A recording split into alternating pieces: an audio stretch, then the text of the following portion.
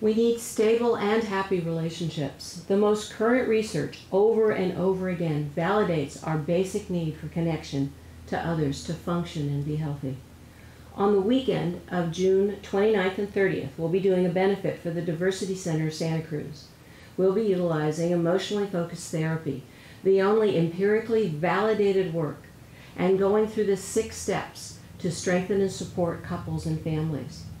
This is a lesbian, gay, bi, transgender, queer plus exclusive event, and we'll be creating a safe, affirming, and loving environment to strengthen your ties and support lives. Would you like to live healthier? Would you like to live longer? Do you want to live happier? I hope you'll join us. Scholarships are available. Call at 831 818 4026.